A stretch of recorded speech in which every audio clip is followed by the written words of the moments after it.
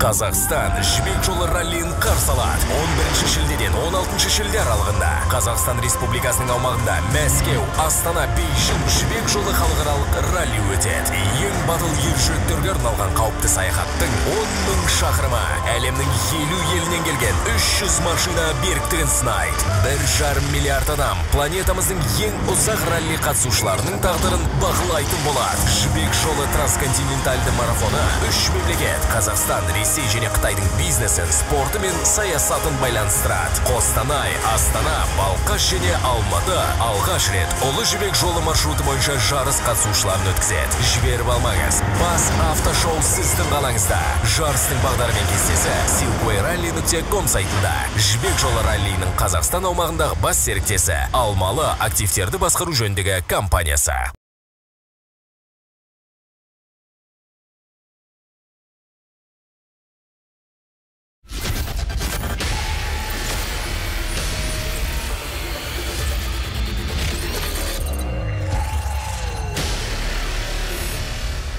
В рамках шестого этапа экипажам предстояло преодолеть путь из Балхаша в Алматы, а это 111 километров зачетной дистанции. После около 70 км нейтрализации и вторая часть спецучастка длиной 224 километра. Сегодняшний этап Балхаш-Алматы оказался спецучастком не только для спортсменов, но также и для маршрута ассистанс и для прессы, вот где мы сейчас едем знаменитая трасса М36 Алматы-Екатеринбург. И состояние трассы, как мы это называем, классическое. Мне интересно мнение европейцев по поводу этого. Но есть, наверное, один плюс. Тут не заснешь. А у гонщиков, у спортсменов свой трек. Где-то вон там.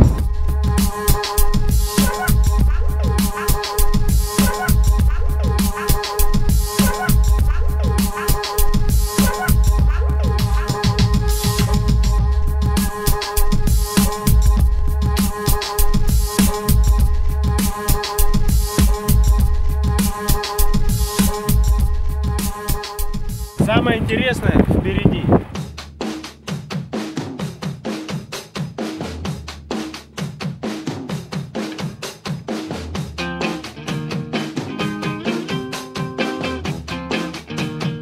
Алга, Казахстан! Вперед!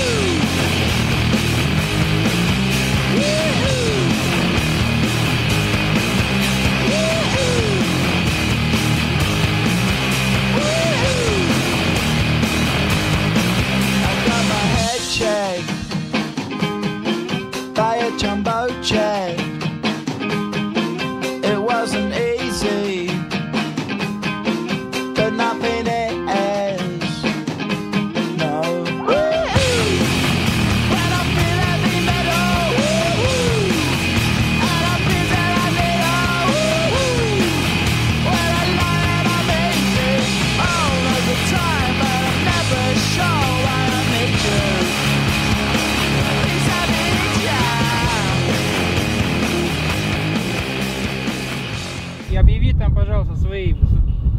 Вам уже сниматься, и объяви там, пожалуйста, что э, финиша там не будет. Все автомобили уезжают из Колшенгеля в Алмату. В связи с нелетной погодой, к сожалению, спецучасток Б отменен, так как авиация не может взлететь, вертолеты подвергаются особой опасности, и, соответственно, мы не можем оказать своевременную медицинскую помощь в случае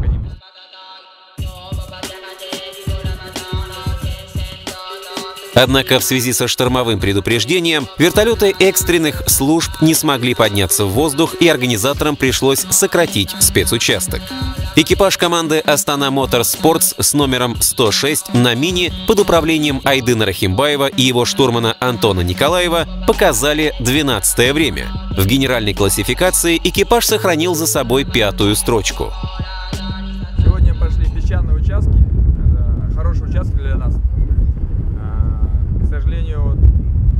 Спецучасток сейчас отменяет. И так как очень сильно ветрено и нелетная погода для вертолетов. Ну, первый спецучасток мы прошли очень хорошо. С такой же скоростью, как вчера. То есть ну, драйв, хорошая навигация. Мы довольны результатом первого участка. Ну, сегодня день начался хорошо, очень знакомые дорожки по профилю имеется в виду. В Астрахани мы по таким ездили, ну, по крайней мере, я не знаю, как Айдын. То есть много трамплинов песочных, песочные дорожки, очень хорошая рулежка и степные дорожки класс, такого классического ралли ВРС. Э, был хороший участок э, Орпис, то есть без дороги. Мы нашли там старую хорошую дорожку и по ней хорошенько дунули. И сейчас, приехав, организаторы сказали, тот, кто найдет дорогу, вполне вероятно мог бы выиграть спецучасток. Мы просто чуть-чуть медленно поехали в ее конце, когда я искал э, выход направо на точку.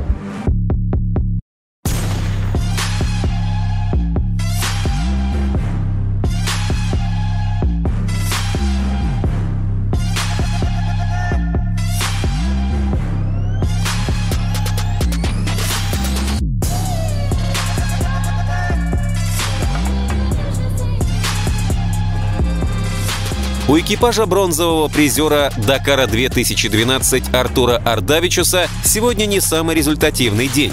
Технические проблемы отодвинули грузовую Татру казахстанца на 15 место в зачете грузовиков. Впрочем, пилот не унывает.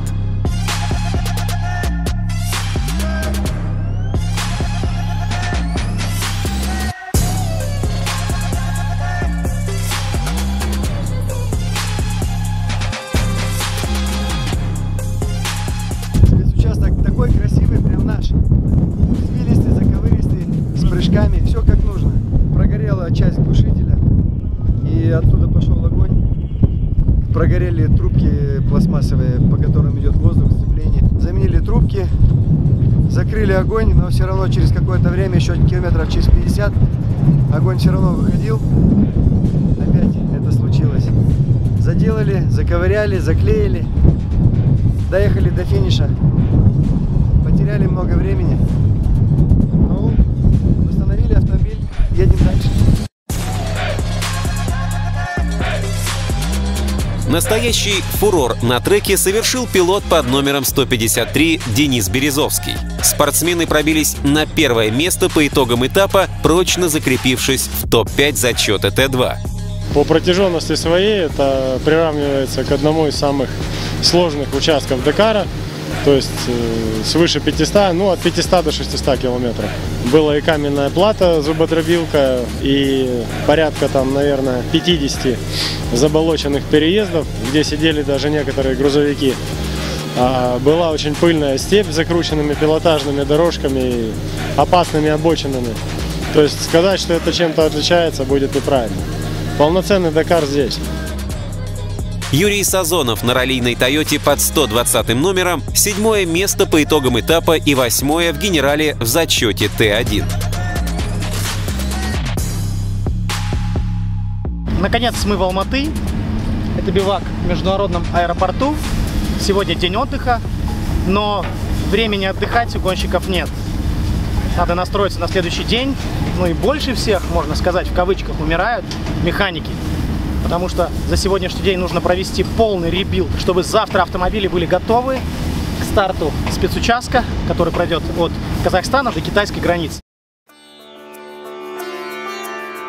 Сложности на казахстанских просторах испытывают не только спортивные экипажи. Ассистент китайской команды решил лично познакомиться с казахстанской солончаковой породой. Недооценив уровень вязкости грунта, наши друзья из Поднебесной глубоко посадили свой внедорожник. Казахстанская медийная группа пришла на помощь, вызволив автомобиль из внедорожного плена. Шелковый путь оказался не таким уж шелковым для всего каравана.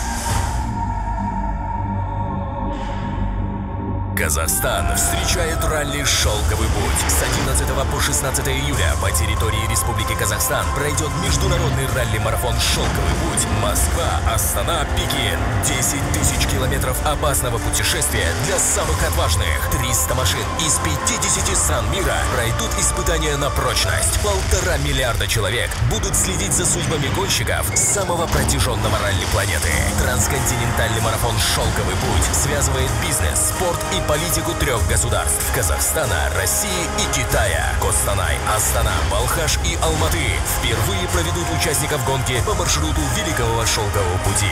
Не пропусти!